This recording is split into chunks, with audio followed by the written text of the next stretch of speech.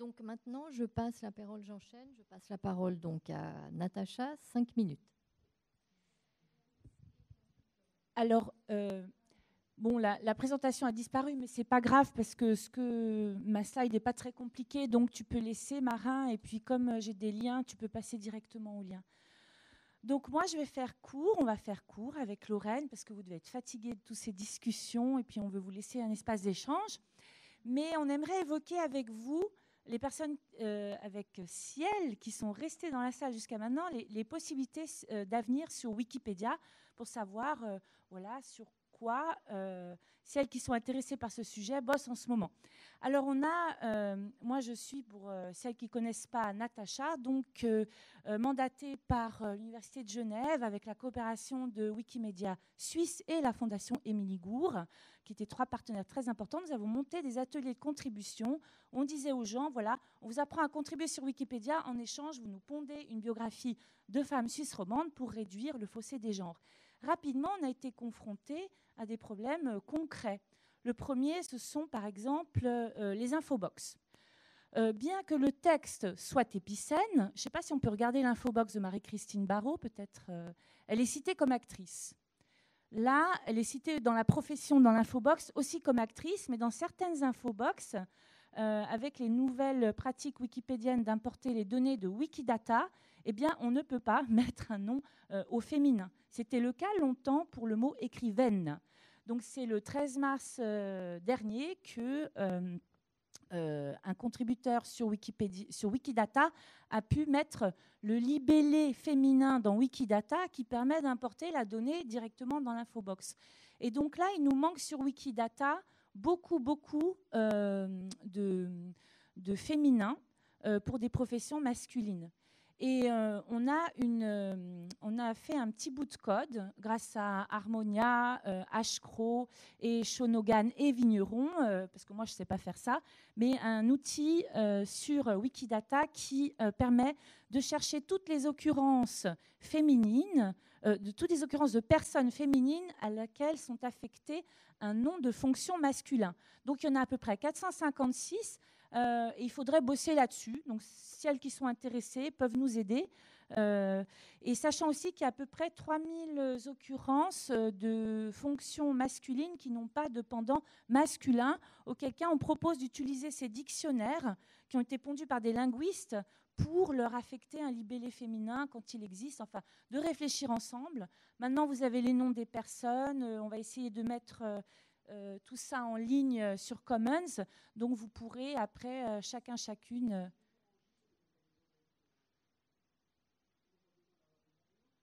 Bon, on peut, on discutera de, ouais, on discutera de ça après. Hein, oui, oui, oui, oui. Non, mais elle n'est pas parfaite la query.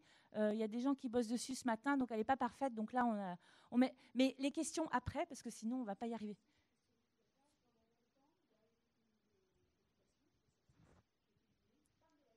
Oui, mais oui. Oui. Oui, oui.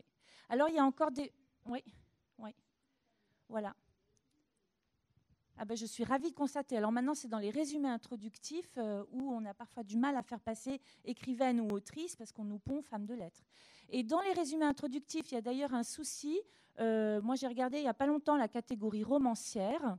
Dans la catégorie romancière, il y a des femmes qui sont euh, auteurs, traductrices et écrivaines, par exemple. Ça fait très bizarre, elles sont trois choses en même temps et de genres différents. Et dans l'infobox, encore un truc différent. Donc, euh, mais ça, euh, peut-être, euh, je laisserai Lorraine parler tout à l'heure de, cet autre projet sur lequel on veut travailler. La, troisième chose, rapidement, ce sont les catégories. Nous avons parlé du fait que le, avoir recours à un principe de masculin générique, c'est pas forcément égalitaire et ça n'a jamais été le cas dans la langue française. C'est une pratique très récente.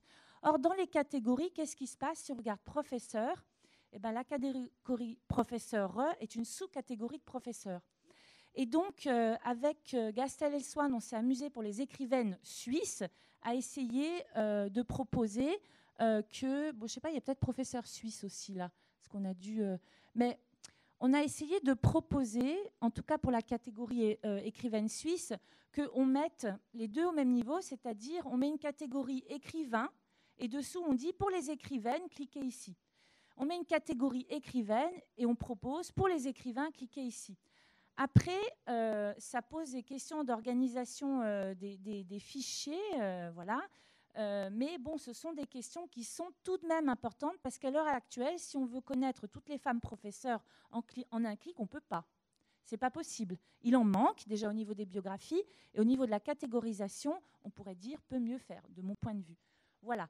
Donc, euh, nous, on propose ces pistes de travail euh, regroupées sur la page des 100 pages ou le portail Femmes et Féminisme ou celles, qui se sont occupées de Art and Feminism les ateliers de contribution de Anne, euh, les ateliers de contribution euh, menés à l'Université de Genève, on, a des personnes qui sont intéressées à travailler sur ces sujets-là et on va, dans le cadre des, des 100 pages, chercher des fonds vendre des t-shirts pour supporter le projet, vous pouvez nous aider. voilà. Et on va continuer à travailler sur ces sujets, faire des éditatons et aussi venir aux événements euh, wikipédiens avec nos t-shirts pour montrer que voilà, on est là et on vient apporter cette question épicène ou de féminisation des langages dans Wikipédia. Je laisse la parole à euh, Lorraine Furter. Euh, voilà. Merci. Est-ce qu'on pourrait revenir au, au slide, s'il vous plaît? Nos signal. Euh, eh ben, pendant que j'ai pas de signal, euh, je voulais juste revenir euh, sur ces questions de règles. j'ai l'impression qu'une chose qui est super importante, en fait, c'est que toutes ces choses ne soient pas spécifiques à la communication sans stéréotype de sexe, mais qu'elles soient pour toute communication. Et donc, c'était plutôt dans ce sens. C'est pas qu'il manque des règles, mais c'est que ces règles soient dans la règle qu'on apprend à l'école, par exemple, parce qu'en fait, on apprend à parler et à écrire à l'école. Et si on le faisait euh, directement de manière euh, épicène, finalement, ça serait beaucoup plus simple. Et donc, pareil pour Wikipédia. Euh, et malgré tout, quand on, Kvardek l'expliquait tout à l'heure, je ne sais plus où il est, et, je trouvais ça vraiment très bien qu'il le mentionne, c'est extrêmement difficile d'intégrer ces, notions dans la règle. Et pourtant, si on y arrivait, il n'y aurait plus vraiment de problème parce que sur Wikipédia, en tout cas, et je pense de manière générale, on s'en tient souvent, ça, fait vraiment référence et les gens pointent, euh, etc. Donc bon, voilà, ça je pense que ça serait peut-être un objectif euh, à, obtenir euh, assez rapidement, ça serait assez pratique. Maintenant, en effet, euh, à côté des, projets que Natacha a présentés, euh, plusieurs personnes euh, dans, notre groupe de discussion, on n'a pas vraiment de, de nom pour l'instant, j'imagine, comme espèce de collectif avec des entités différentes. Disons qu'on est dans les 100 pages. Euh, on a commencé aussi à réfléchir à euh, un projet de bot épicène. Donc les personnes qui y ont participé pour l'instant, euh, c'est Kvardek, Anne, Natacha, avec l'aide aussi d'Harmonia et de Sylvain.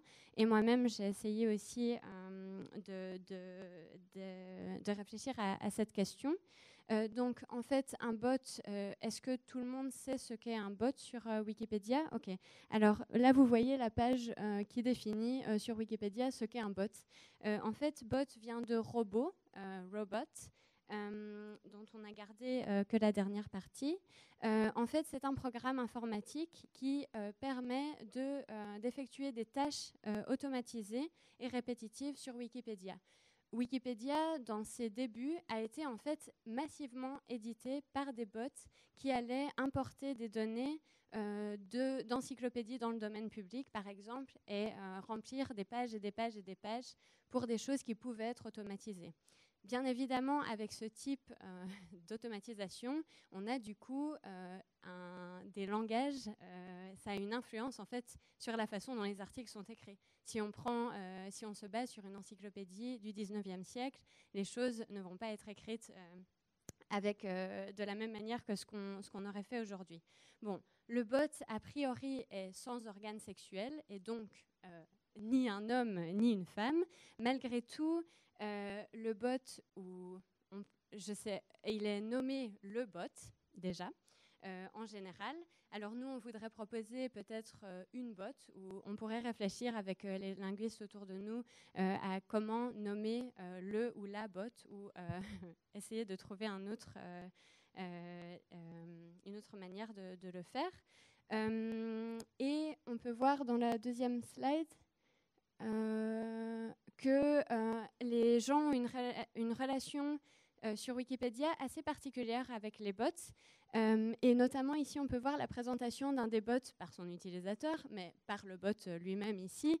Euh, et on peut voir que le bot a eu un premier flirt. Alors, il n'est pas mentionné que ce bot est masculin ou, féminin. C'est peut-être aussi un ou une bot lesbienne. mais en tout cas, apparemment, on personnifie ou on humanise les bots. Bon, ça c'était une petite euh, parenthèse qui permet aussi de réfléchir à comment ces acteurs sur Wikipédia peuvent être utilisés dans le but d'avoir euh, peut-être des actions aussi un peu plus neutres euh, sur l'encyclopédie. Donc on peut passer à la slide suivante. Voilà. donc les propositions pour un débot, disons, épicène. Euh, ce serait euh, par exemple euh, de créer un bot qui repère tous les noms de métiers dans des articles et qui corrige lorsqu'on parle d'écrivain pour une femme au lieu de parler d'écrivaine. on pourrait aussi imaginer un bot, ou oh, je vais parler au pluriel, des bots qui repèrent les définitions que j'ai nommées par liens familiaux euh, donc, par exemple, euh, quand on parle, euh, on a vu tout à l'heure un exemple, on parle d'une femme en commençant par dire que c'est la fille de la sœur de l'épouse de. et donc, on pourrait imaginer un bot qui repère ces mots dans le premier paragraphe, par exemple, parce qu'il y a des chapitres biographie. Et donc, ces informations, a priori, devraient se retrouver dans le chapitre biographie plutôt que dans le premier paragraphe qui présente euh, la, personne. Euh, on a aussi parlé de la question de la réciprocité.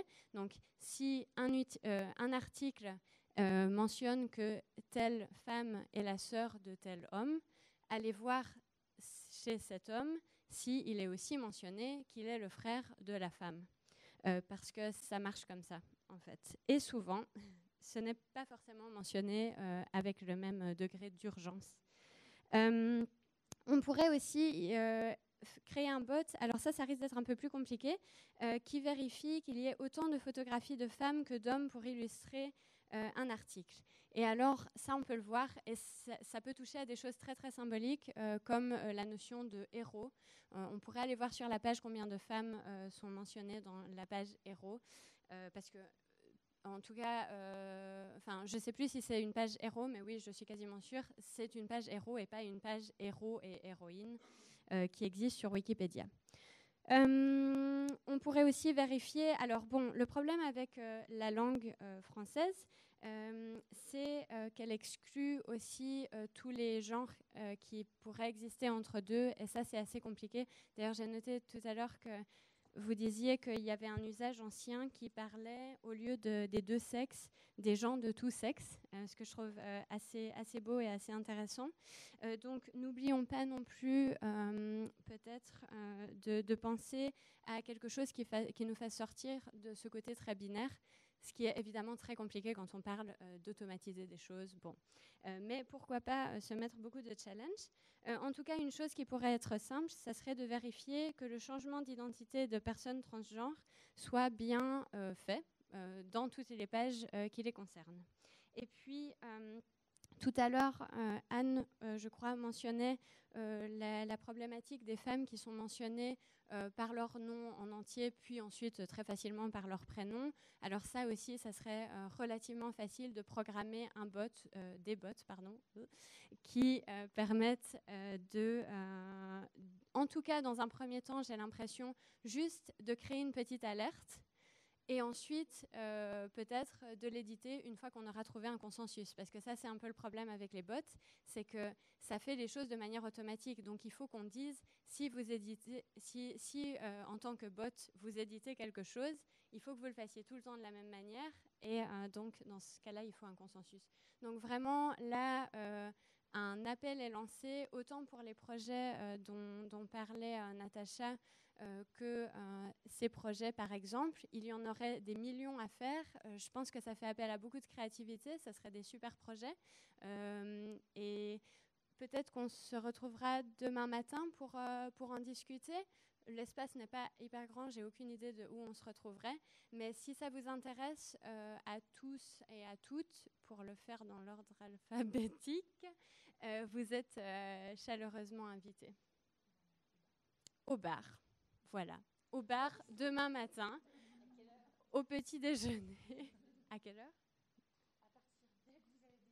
Dès que vous avez déjeuné, on sera ici. Voilà.